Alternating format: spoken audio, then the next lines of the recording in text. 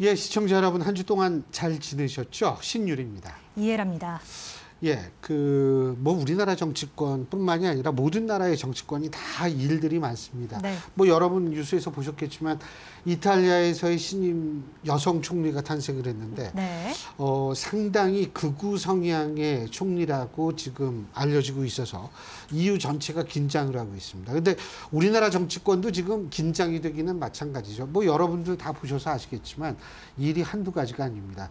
이 와중에 그래도 또 여러분께 명쾌한 이성적인 합리적인 해법과 또 현재의 상황을 해석해 드릴 분을 저희가 모셨는데요. 네, 그죠? 맞습니다. 이 혼란스러운 전국에서 이 소식들 더 꼼꼼히 챙겨 드리는 게 저희 역할이 아닐까 생각하면서 오늘 모실 분을 소개를 해 드려야 될 것 같아요.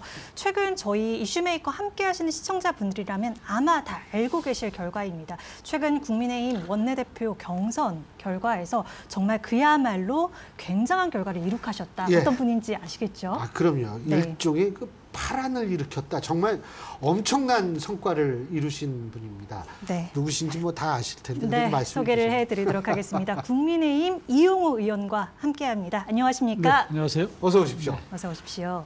아 진짜 솔직히 그 저 원내대표 경선 저희가 좀 아까 엄청난 결과다 이런 말씀을 드렸는데 저도 깜짝 놀랐어요. 이 의원님 본인도 좀 그렇게 생- 그런 예상을 하셨었어요? 저는 42표까지 나오리라고 생각은 안 했고 그리고 30표 중반 정도 나올 것 같다는 생각을 했어요. 음. 왜냐면 제가 일일이 모든 의원들한테 전화를 하고 제가 선거 한두 번 하는 게 아니기 때문에 동그라미, 아, 세모. X. 네, 그래서 좀 짜게 잡았을 때 30명의 초반 좀 넉넉히 잡으면 30대 중반 좀 넘어서 이렇게 됐거든요. 아, 그래서 기본적으로 이게 이제 그 원내대표 선거의 기본 바닥 의 에, 이- 그 분위기가 저한테는 나쁘지 않았던 것 같습니다. 제가요 사실은 이용호 의원님을 예전부터 제가 이제 다른 방송 진행할 때 엄청나게 많이 모셨어요. 그 네. 이유가 뭐냐면 굉장히 합리적이세요. 아, 모든 게 합리적이고 냉철하게 하시기 때문에 사실은 저는 그런 합리성과 냉철함이 또 다른 의원님들도 인정을 해주셔서 이런 결과가 나온 거 아닌가. 저는 사실 이런 생각도 하거든요. 그래서 오늘 말씀이 더 기대가 됩니다. 그럼요. 그 기대를 하려면 빨리 물어보세요. 네, 바로 이어서 질문을 드려야 될 것 같습니다. 가장 따끈한 소식부터 여쭤봐야 될 것 같은데 예, 문재인 전 대통령 감사원 서면 조사 거부했다는 소식이 들리면서 직접적으로 불쾌감을 표시했다고 합니다. 어, 그런데 무례하다 뭐 그런 네, 무례한 하는 거죠. 짓이다 이렇게 표현을 하셨는데 사실 전직 대통령들한테 이 통보가 간 사례가 첫 번째가 아니거든요. 네 번 있었죠. 그렇죠.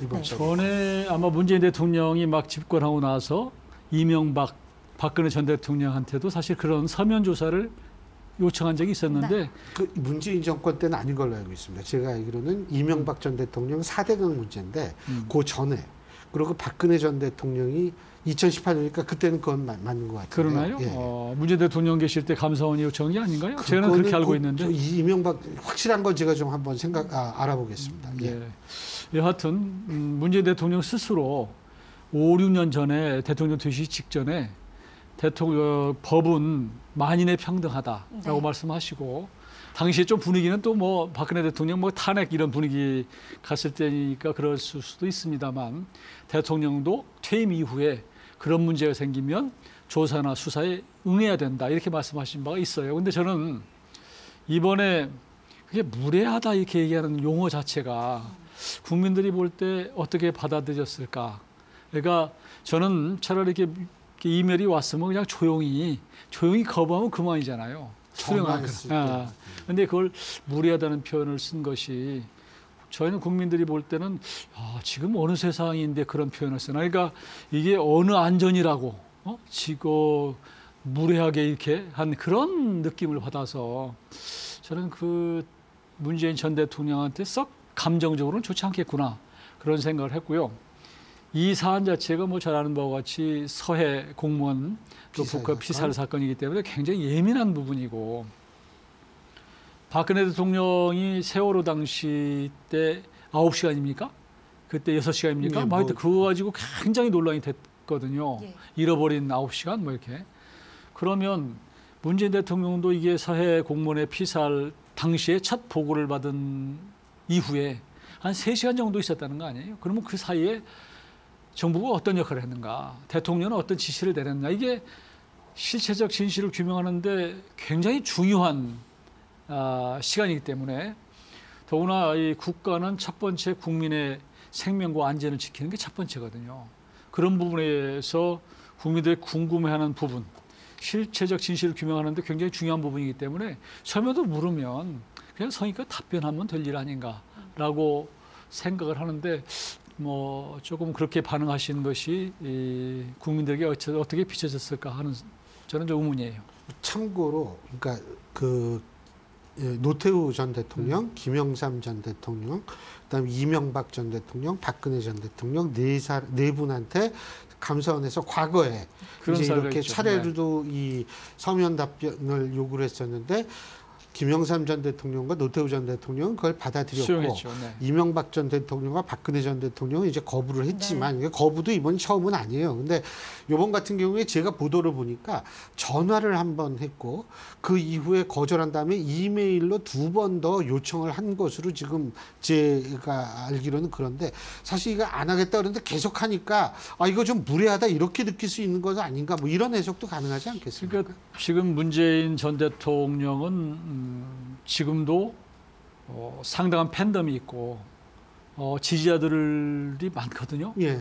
그러니까 그런 측면에서 봤을 때 어, 내가 충분히 지난 5년 동안 나름대로 역할을 해오고 지금 전임 대통령으로서 예우를 받고 있고 이런데 나한테 이걸 보내라는 마음이 있었던 거라고 저는 생각해요.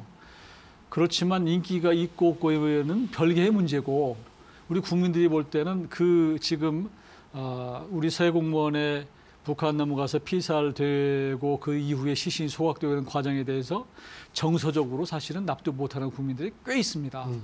이 부분에 대해서 적어도 대통령이 어떤 역할을 했는가 하는 부분은 인기 있고 없고의 문제가 아니라 이건 규명할 필요가 있는 내용이기 때문에 감사원으로 봐서는 그걸 보낼 수 있는 것이고 적어도 한두 번 더 할 수 있는 일이라고 생각을 해요. 그러니까 아, 지금 대통령의 이 감성적으로 나한테 이렇게 할 수 있나 하는 부분을 좀 더 차분히 생각하셔서 어, 저는 대통령께서 아, 이 부분은 내가 아, 할 말이 없으면 없다.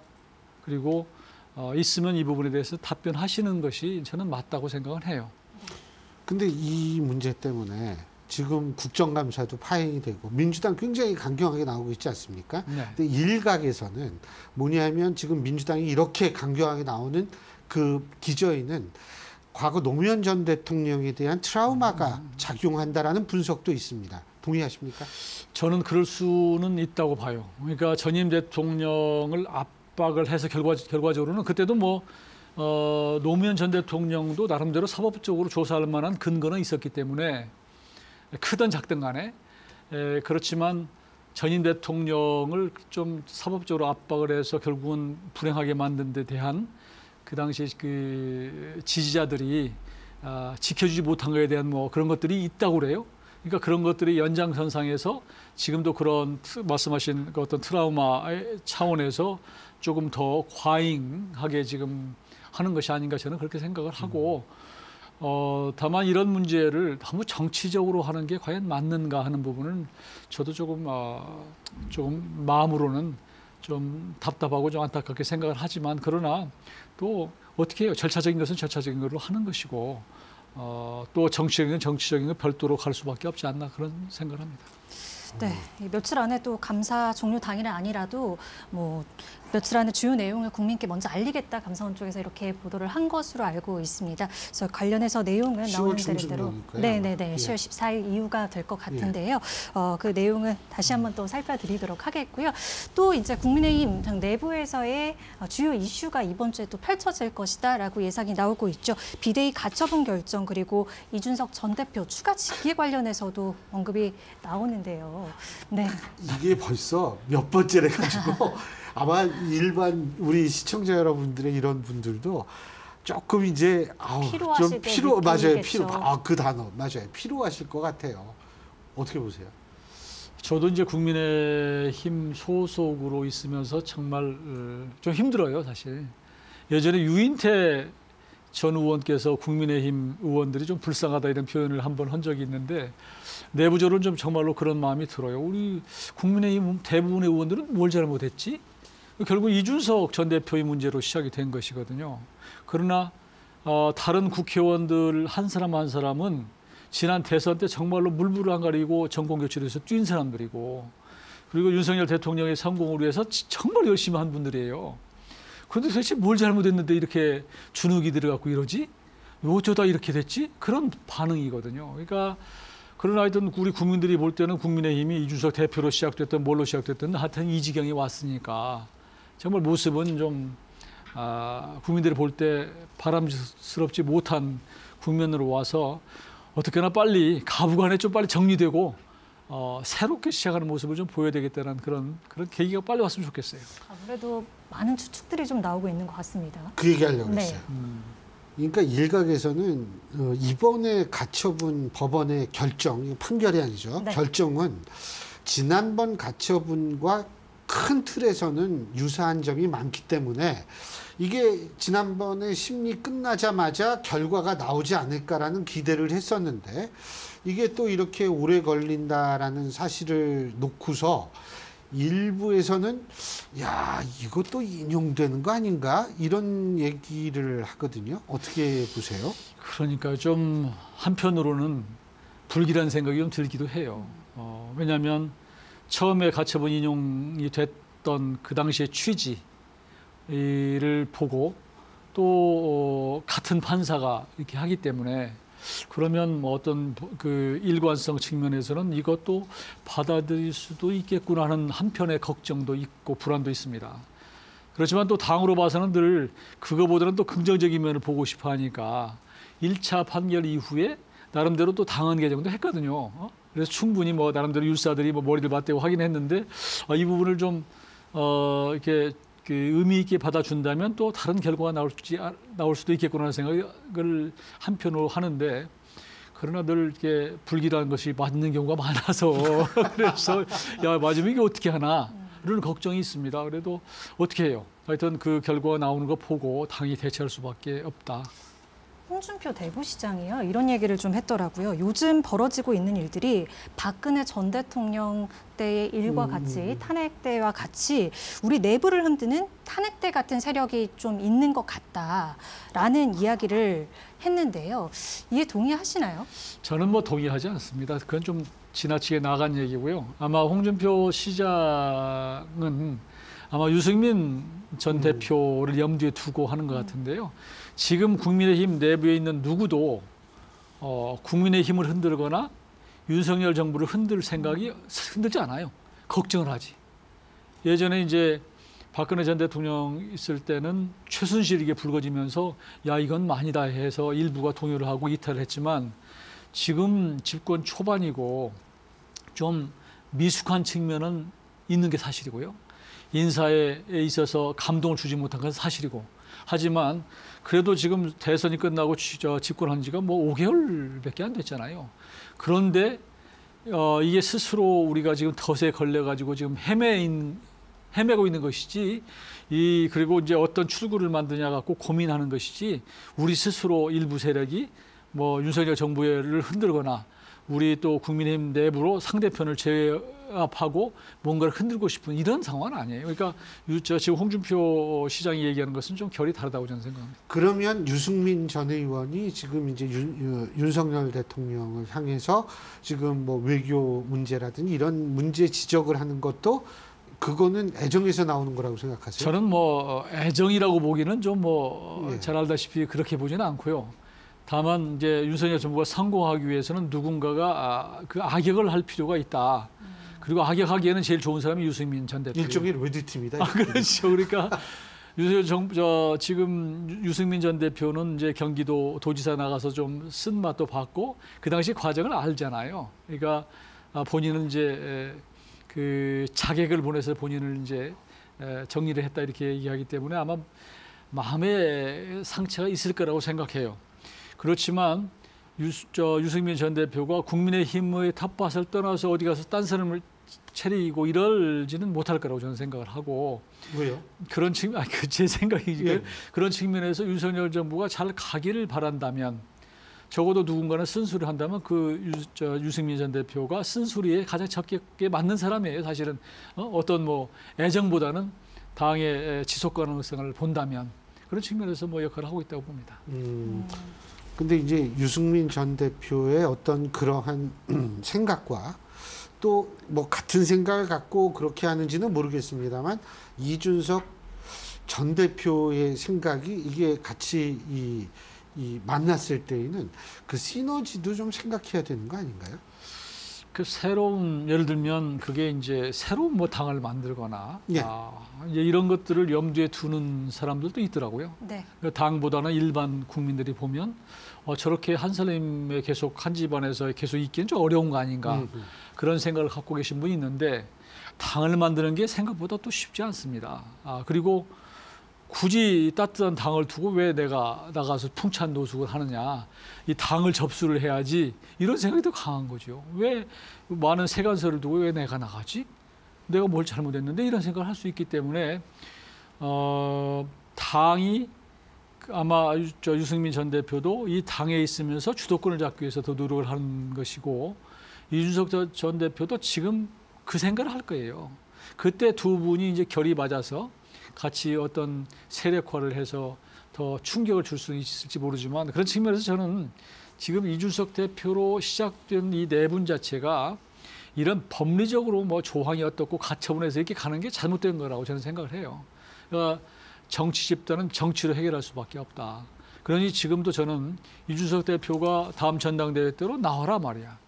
나오도록 하고 그 대신 전당대회에서 신임을 물어서 어 우리 국민과 또 당원들의 의견을 물어서 본인의 그 승부를 내야지 깨끗하게 승복하는 단계에 올 수 있는 거 아닌가 이렇게 보기 때문에 그렇게 정리가 됐으면 좋았는데 그 단계가 좀 넘어서 참 해법이 참 요연 묘연하죠. 예, 요원해요.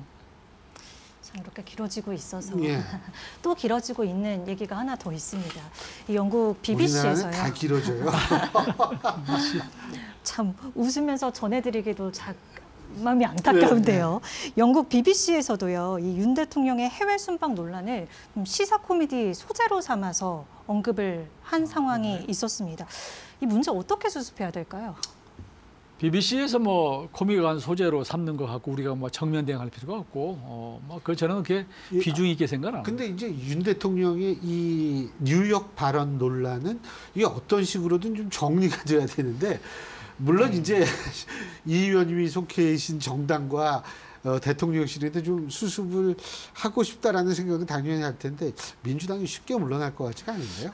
더군다나 문재인 음, 앞서 우리가 얘기한 문재인 전 대통령의 어떤 감사원 서면 답변 요구와 맞물려 가지고 이게 쉽게 풀릴 것 같지 않은데요. 강대강으로 갈 수밖에 없는 구조 같아요. 그러니까 지금 대통령실이든 우리 당이든 이 문제를 좀 정리할 수 조금은 이렇게 매듭을 짓고 출구를 마련할 수 있는 충분한 시간이 있었는데 그것도 좀 시간이 지나서 이게 너무 가다 보면 모든 사안이 이게 관성력이라고 하는 게 있거든요. 관성.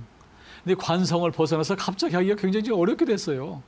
근데 그렇다고 한다면 이제 지난한 싸움을 갈 수밖에 없는 것이고 그러다 국민들이 볼 때 아, 너무 지친다 그러면 이제 대충 끝나는 거죠. 뭐. 그래서 한참 가다 보면 이 싸움이 다른 싸움으로 변질돼서 그때쯤 가지 않을까. 아, 저는 뭐 제 나름대로의 생각이 이, 있습니다만 그렇게 해서 어, 조언이 받아들일 것 같지가 않고 어, 하기 때문에 뭐 말씀을 참 드리기는 좀 그렇습니다. 아니, 조금이라도 말씀해 주시죠 생각을. 저는 음, 제 생각은 음, 지금 정쟁 자체가 국민들이 보기에 너무 필요해요 정말 이게 얼마나 먹고, 먹고 살기가 힘들어요 국제적으로도 그렇고 국내적으로도 그렇고 쌀값은 떨어져 그다음에 고물가 정말로 뭐 여러 번 얘기하지만 고환율에 지금 전기세 또 그 가스비 올라서 난리거든요 연거를 해서 우리 젊은 친구들을 집 샀는데 금리 올라갔고 지금 하루하루가 힘든 상황이고 그렇죠. 뭐 이런데 자기들 문제 갖고 싸운단 말이에요. 그러니까 너무 힘들기 때문에 제가 대통령실의 대통령이라면 저는 국민의힘에 얘기하겠어요. 오늘부로 정쟁을 중단해라. 음. 라고 요구를 하겠어요. 이 문제 가지고 정쟁을 중단해라. 당신들이. 그리고 어, 국민의힘이 그러면 정쟁 중단할 거 아니에요. 그리고 지금부터 민생 하자라고 하면 저는 대통령의 그 어, 그렇게 한 것이 국민들한테 좀 마음이 전달이 되고 하지 않을까 싶은데 그게 근데 지금 김대기 비서실장도 민생으로 하자. 그 국민 여러분께 송구스럽게 됐다. 거기까지는 다 좋은데 다시 그 다음에 민주당한테 강경하게 나오겠단 말이에요. 그러니까 이렇게 돼가지고는 이거는 안 되지. 정쟁을 안 되는 거 중단을? 하고 예. 그 있는 사안에 대해서 아, 나름대로 이제 국민의 마음을 풀어주는 코멘트를 해야죠. 그래야지 국면이 전환될 것이죠. 근데 음. 지금 싸움을 싸움대로 하면서 민생을 로 가자 이게 설득력이 있단 말이에요. 음. 그런 측면에서 더 이상 어, 외교 이런 문제에 대해서 그 문제를 빌미로 해서 야당을 공격하거나 이런 것은 이제 중단해라. 국민들이 너무 힘들어한다. 나도 이 부분에 대해서는 이렇게 하겠다고 이렇게 해주면 저는 한 단계는 매듭이 되리라고 생각해요. 음. 네. 요새 또 국민의힘 지지율이 그래도 공고했었습니다. 그런데 최근 들어서 윤 대통령의 지지율과 커플링, 동조화되는 것이 아닌가 이렇게 좀 살펴볼 수 있는 수치들이 나오고 있는 것 같은데요. 그 이유 아무래도 지금 말씀해 주신 부분들 중에서 찾을 수가 있겠죠. 가장 큰 이유 뭘까요? 아시면서 물어보는 아, 그러니까- 그거 알기 힘들죠. 이거 얼마나 복잡해요. 그러니까 지금 대통령실에 대한 평가, 당에 대한 평가거든요. 그러니까 두 역할이 서로 조금 다르면 다른 평가가 나올 수밖에 없는데 적어도 외교 현안 문제에 대해 외교적 성과 문제에 대해서 또 소위 비속어의 문제에 대해서 동시에 두 대통령실과 당이 똑같은 차원에서 이게 나가는 것에 대한 국민들의 실망이 있을 수 있죠. 근데 바로 그 부분인데요. 자, 이 뉴욕 발언 논란이 있고 또 그 딴 거에서 당하고 대통령실하고 거의 비슷하게 나간다. 근데 당이 더 나간 경우도 있어요. 일각에서는요, 국민의힘이 MBC를 고소한 것은 어, 이거는 전선을 지나치게 확대한 것이다라는 의견도 있습니다. 어떻게 보십니까? 아, 이제 그 국회의원이 많잖아요. 예, 이제 민주당보다는 훨씬 적지만 예. 그래도 그 안에 또 이게 다양한 음, 생각을 갖고 있는 분들이 있기 그게 때문에 정상이죠 민주정당에서. 에, 그런데 이제 대통령실에서 어, 나름대로 이제 그 스탠스를 정해서 갈 때 당에서 여러 의견이 있는 분들 중에서 목소리를 내는 것은 대통령실하고 비슷한 사람들의 목소리가 더 크게 된단 말이에요. 이제 그런데 또 당에서 또 다 다른 생각 갖고 있는 분들은 저렇게 나가는데 내가 굳이 또 여기서 다른 얘기를 해가지고 발목을 잡아야 되나 다른 이런 고민이 있기 때문에 그분들이 입을 닫는 거거든요. 그러니까 그런 차원에서 아, 조금은 더 국민 편에서 국민의 생 국민들이 어떻게 볼까를 염두에 둔, 두는 그런 해법을 좀 모색했어야 되는데 그런 부분이 동시에 그냥 강대강으로 동시에 가는 것이 조금은 좀 국민들이 볼 때 좀 불편하게 생각할 수도 있다고 생각해요. 이게 근데 커플링 현상이 나타나면 네. 이거 벗어나기가 쉽지는 않을 겁니다. 그렇다고 봐요. 저도 예. 어, 아까 조금 전에 말씀드렸지만 그러게 이제 관성이 생기거든요. 그렇죠. 그- 그러다 보면 스스로 지금까지 온 것에 대해서 뒤돌아볼 틈이 없고 여기에 이제 말 타고 이제 그 어떤 호랑이 등에 타고 가면 갑자기 내리면 이제 떨어져서 다친다 이런 생각을 하게 되기 때문에 참 어려운 측면이 있죠. 그래서 누군가가 결단을 내려주는 그런 것이 필요한데 그때 결단이라고 하는 게 조금 전에 제가 말씀드린 그런 것일 수 있거든요. 근데 그렇게 결단을 내려서 아, 더 이상 이제 이 문제에 대해서 아, 그 정쟁의 도구로 삼지 말고 스톱해라 라고 얘기한다면 저는 그게 결코 낭만한 일이 아니라고 생각해요. 오히려 국민들이 볼 때 어, 좀 다른 시각으로 평가할 수 있다고 생각하는데 막상 그렇게 가다 보면 그게 잘 안 보이죠. 그 1997년 IMF 직전이요. 외환 위기 직전. 네. 그때는 뭐 태, 태어났나? 어, 그건 내가 잘 모르겠는데 네. 너무 어려서 잘 모르겠지만 음. 그때 당시를 이렇게 저희가 생각을 해보면은요. 저는 유사한 점이 있는 것 같아요. 첫째 유사한 점이라는 게 뭐냐면 그때 당시 물론 대선 직전이긴 했습니다만 여당 내 갈등이 극심했습니다. 예. 김영삼 전 대통령 그때 당시의 대통령과 그때 당시 신한국당의 이회창 당시 총재, 당 대표 사이에 갈등 엄청나게 했고요. 그때 당시에 DJ의 비자금 의혹을 터트리면서 신한국당이 고소를 했었거든요. 음. 네네, 예. 예? 지금도 이 서로가 고소 고발전이 난무하고 있죠. 여야 간에. 그죠? 이 소위 말하는 정치 사법화가 그때와 지금 있고 여당 내부의 갈등도 있고요. 제가 이렇게 볼 때는 사실은 그런 점에서 너무 유사한 것 같아요. 근데 어 그때 당시에 제가 이렇게 얼마 전에 자료를 찾다가 봤는데 11월 20 하여간 11월 말에 IMF 이 구제금융을 받기로 발표를 하는데 일주일 전 11월 15일입니다. 요 날짜 기준 음, 네. 하는데 이때만 하더라도 그렇게 정치권이나 정부가 위기감이 없었어요.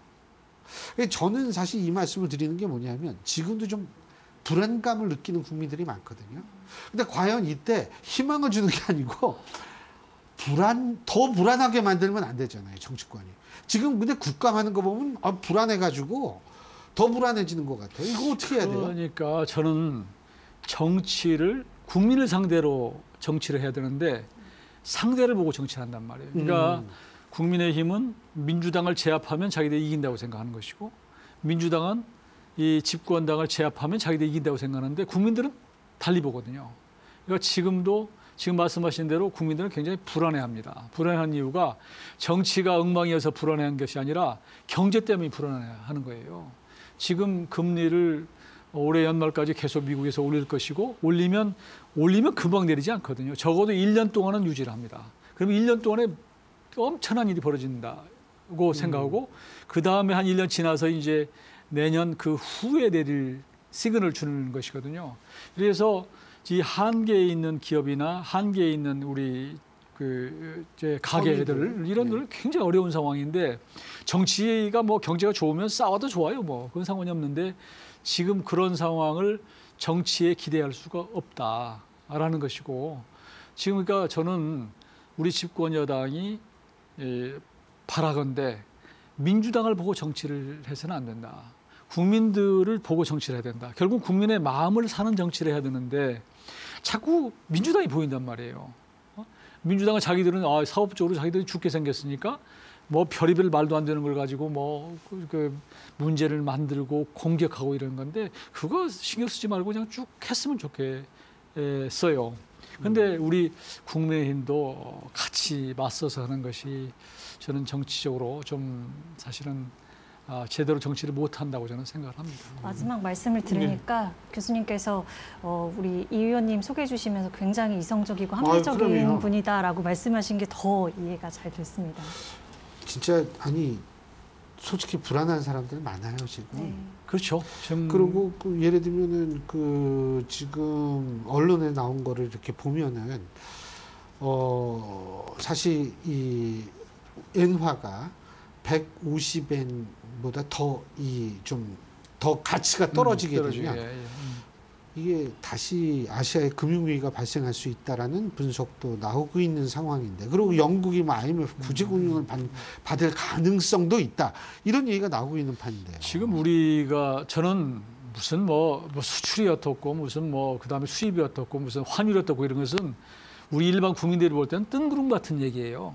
진짜 국민들이 불안을 느끼는 것은 뭐냐면 주가예요, 주가, 주식. 음. 지금 주식 계좌가 우리 국민들 숫자보다 많아요. 음. 근데 우리는 이 지금 아, 주가가 주식이 엄청나게 한 반토막이 아니라 삼분의 1 토막이 났단 말이에요. 예. 그리고 젊은 층은 특히나 이게 아니면 뭐 방법이 없다 그래서 또 비트코인 들어가 있는 거거든요. 근데 비트코인은 뭐 말할 수 없더라고. 이렇게 이게 진짜 당장 주머니가 어려운 상황이거든요. 이게 저는 가장 큰 문제라고 생각을 해요. 음. 이게 무슨 뭐 그 뭐 수출이 어떻고 무슨 대외 뭐 경상 수지가 어떻고 이것은 뭐 경제학자 대한 얘기고 당장 이런 상황에서 금리가 올라가지고 이거 한치 앞을 모르는 상황인데 에, 그런데도 불구하고 이 정치인들이 모르고 이거 하는 것을 정말로 분노가 지금 거의 차 있는 상황이고요. 맞습니다. 그런데도 불구하고 지금 일본 같은 경우 아까 예나 얘기했지만 일본은 어, 그 그 뭐죠 이제 여행객들 뭐 PCR 뭐 제외하고 그렇죠. 그저께 풀었잖아요. 그것도 푸는 이유가 제가 들어보니까 풀고 나면 여행 수지가 좀 나아진다는 것 때문에 그렇죠. 그런 때문에 거거든요. 근데 거죠. 우리는 그거 생각 않고 있어요. 그러니까 우리는 여행 수진을 막아놓으면 여행 수지가 오히려 우리는 괜, 저 우리는 괜찮다고 생각하는 못 나가게 막아놓으면. 근데 지금 다 동남아도 풀어서 이런 것들에 대해서 음. 좀그 누가 정말로 이 정부의 예. 부처가 아, 책임 있는 당국에서 생각을 예. 하고 있는가 이 부분이 우리 알겠습니다. 국민들이 볼 때 믿음이 안 가는 상황이 됐어요. 예, 예, 참 여러 가지로 걱정이 많이 되는데 네. 그럴 때일수록 사실 우리 이 의원님처럼 합리적이고 냉철하신 분들의 목소리가 큰 울림을 만드는 그런 절실합니다. 정치가 됐으면 네. 좋겠어요. 오늘 말씀 잘 들었습니다. 아유, 네, 감사합니다. 고맙습니다. 예, 저희가 오늘 얘기했던 부분 중에서 전 제일 중요한 것이 사회적 경제적 위기가 닥쳤을 때 정치와 민주주의 시스템이 제대로 작동하지 못한다면 퍼퓰리스트와 극단적인 이념성을 가진 정치 세력이 득세를 하게 된다라는 것. 네. 이건 유럽 사례에서도 우리가 많이 확인할 수가 있는데요. 우리 그걸 막아야 합니다. 막도록 우리 모두 깨어 있어야 합니다. 자, 그러면 오늘 수사는 여기서 줄여야겠죠? 네, 저희는 다음 이 시간에 인사드리도록 하겠습니다. 시청해주신 여러분 고맙습니다. 고맙습니다.